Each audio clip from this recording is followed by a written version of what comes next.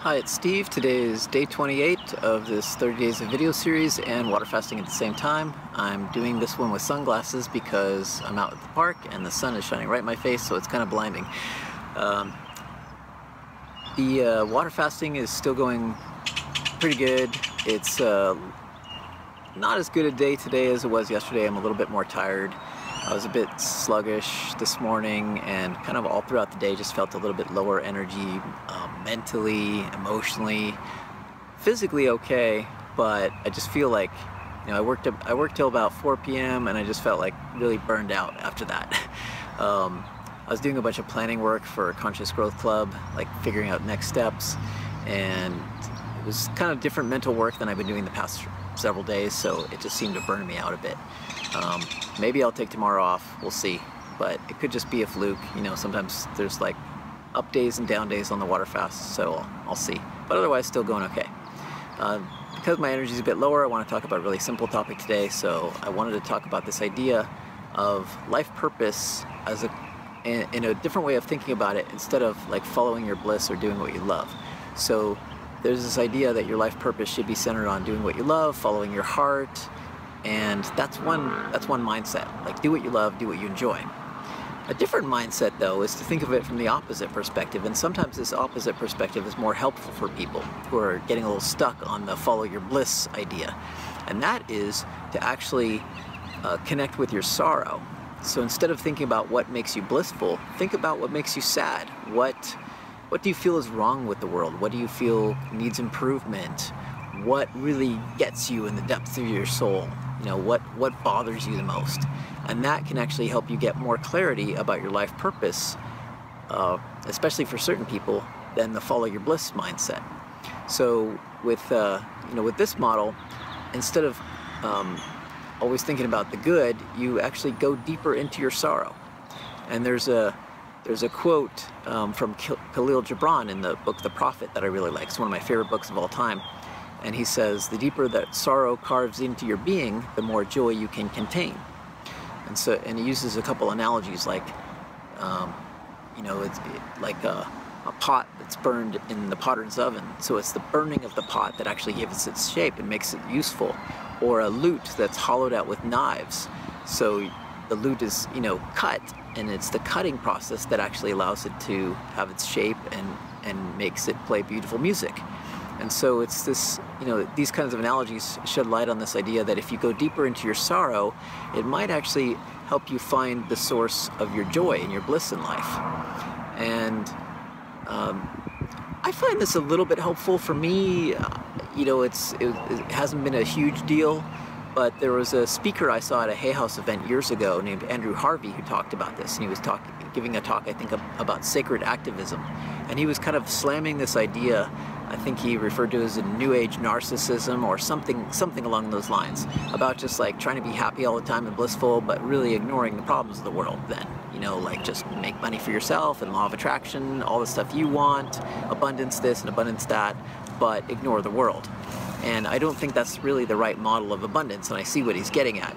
And if you come at it from the sorrow angle it gives you more of a sense of action. Like I've actually got to have a purpose here that does something for the world, that makes a difference, that helps people in some way. One of the things that really gets me is when I see people just, um, you know, living lives of, of just like lack of alignment all over the place. Um, you know, doing a job they don't like, and you just see in their eyes that there's just no spirit, there's no soul, there's no fire in, in them for what they're doing uh, the way they're living. They're just checked out, going through the motions. You know, like the saying, uh, lives of quiet desperation. And it's, you know, that always breaks my heart to see it. It tugs at me. Um, and it's one of the reasons I want to encourage people to live more consciously and to wake up and, and uh, you know, create an amazing life for yourself, um, especially life centered around some kind of service to others. That creates more positive ripples in the world. Um, you know, what else breaks my heart? I mean, just the ridiculous amount of political infighting in this country in the world, such a waste of resources, war, you know, destroying things that we've built.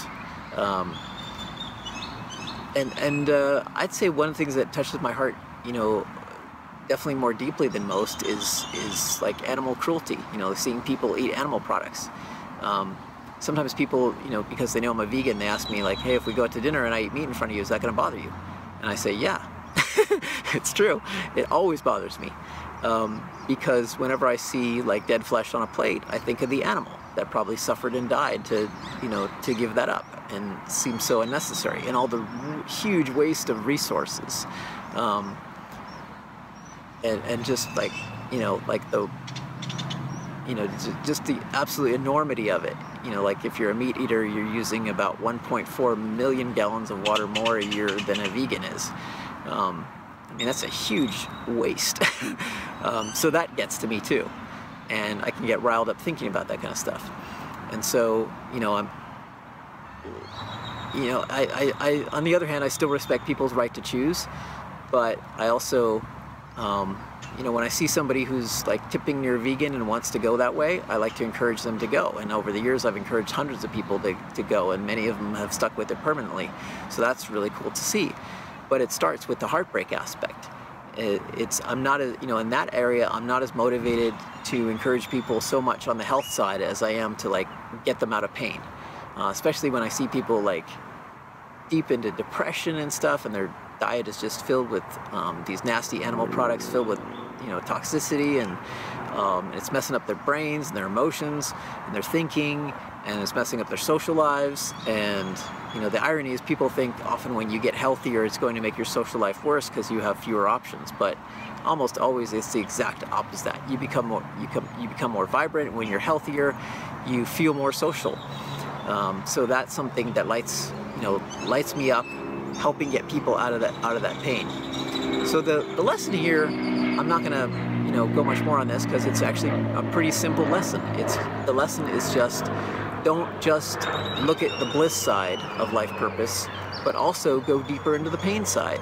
You know, ask yourself what really um, tugs at your heartstrings, what makes you sorrowful, and if you go deeper into that sorrow and you explore it, you might find that it contains the source of your joy, of your purpose in life there have been you know many instances where somebody went through a deeply saddening experience like a tragic loss. And through that they discovered a, a, an, an, amazing sense of purpose like they had an accident or they lost a spouse or a partner to um, to some disease like cancer and then be, they become a spokesperson for that. Or their child died in a drunk driving accident and they speak out against that um, or they had a deep, you know, problem with drugs and alcohol, and now they help people who are in that same situation.